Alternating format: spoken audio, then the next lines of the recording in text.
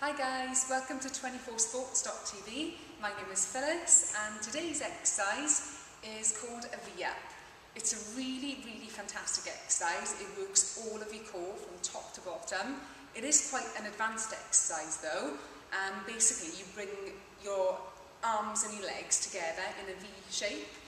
Um, so as I said, it is quite an advanced exercise. There's not really an easier version of it. So what I would say is I mean, I would like you to do between 12 and 15 reps, but if you can just do four or five and then progress as the weeks go on, that's going to be great. So give it a go, girls, and let me know how you get on.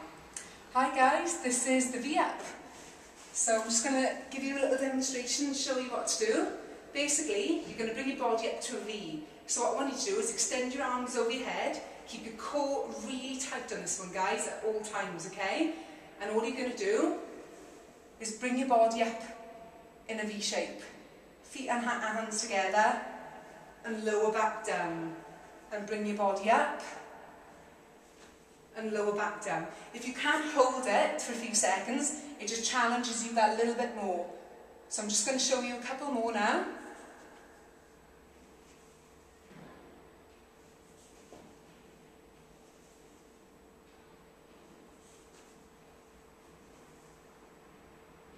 Okay guys, that's the V-up. I said a fantastic exercise, works your core from top to bottom. Um, give it a go guys.